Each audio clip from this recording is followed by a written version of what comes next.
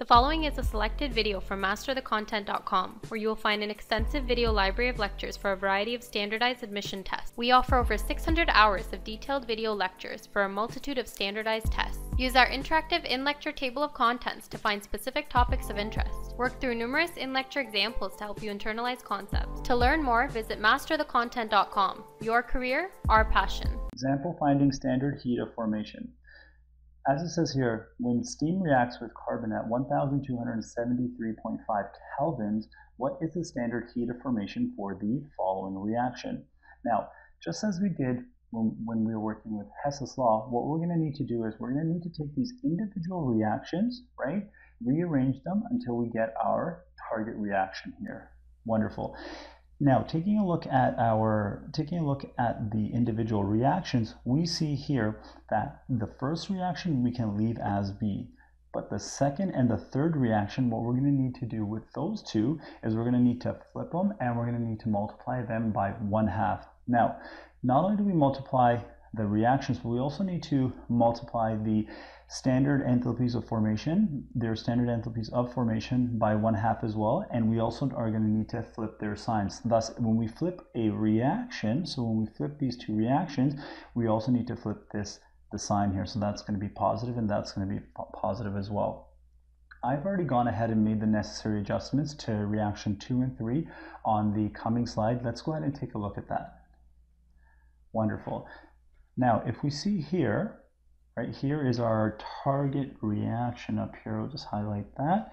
Now, if we see here, for our second and third reaction, we've gone ahead and we flipped it and we've multiplied it by one half. Furthermore, the standard heat of formation values, we've also gone ahead and flipped the signs on those and we've gone ahead and multiplied that already by one half. Wonderful. Now, if we just go ahead and we uh, cross out our like terms as such and also the carbon dioxide you can as well and our yeah and that's it. We are left with our target reaction. Now let's just go ahead and write this out and in doing so and just the H2O as well right? Now what is next? We just need to write down our carbon monoxide as such plus our hydrogen our hydrogen gas as follows. Now, what about the standard heat of formation? Well, we're a little limited for room, thus I'll just go ahead and write it down here.